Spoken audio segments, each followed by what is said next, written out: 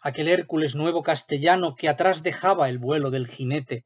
el que barajas quebrantaba siete, que no se cuenta del feroz tebano, el que delante del monarca hispano fuerza no halló que el brazo le sujete, el que molía trigo en el bufete con la robusta palma de la mano, Soto, que a los titanes aventaja y que luchara con Milón membrudo, el que los altos árboles desgaja, con la muerte corrió una vez desnudo, y dándole de echada una ventaja, cuando se quiso levantar, no pudo.